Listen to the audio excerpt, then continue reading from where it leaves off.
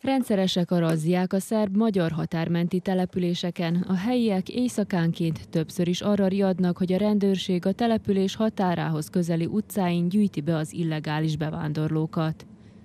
Razzia volt, mink hála Istennek nem ébredtünk fel rá, de a szomszéd mesélte, hogy iszonyú volt.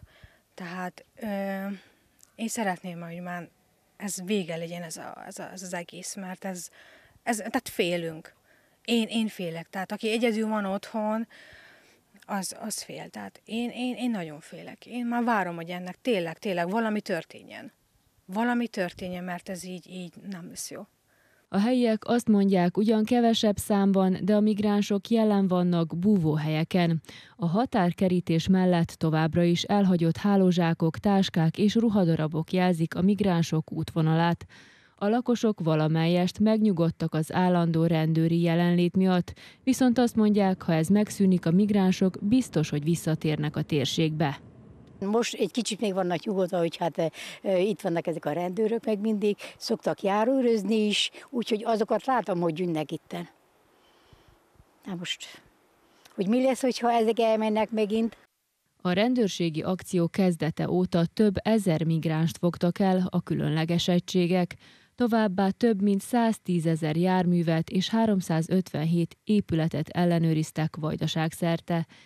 Királyhalomra egyébként a vele szomszédos ásott halomról is gyakran érkeznek látogatóba rokonokhoz, barátokhoz az emberek. A rendőrségi akciónak köszönhetően most ott is csökkent a migránsok jelenléte, valószínű kevesebben próbálkozhatnak a határon való átjutással.